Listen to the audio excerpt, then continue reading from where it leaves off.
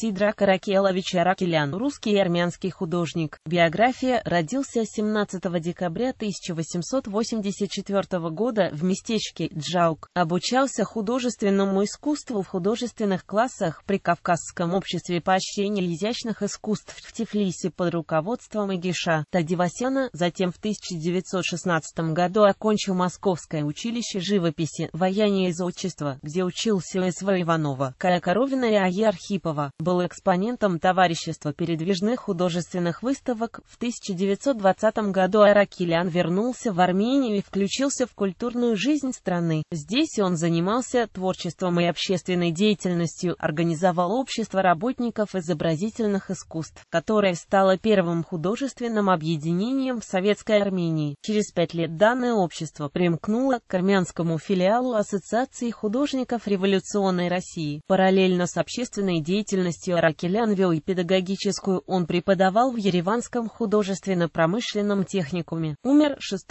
марта 1942 года в Ереване. Труды, работа Аракеляна находятся в картинной галерее Армении, в Третьяковской галерее и других. Источники Ерканян ВС. Армянская культура в 1800-1917 годах. Переулок Сарм КС. Худовердина, Ереван, 1985. Наградой «Заслуженный деятель искусств Армянской Necessary.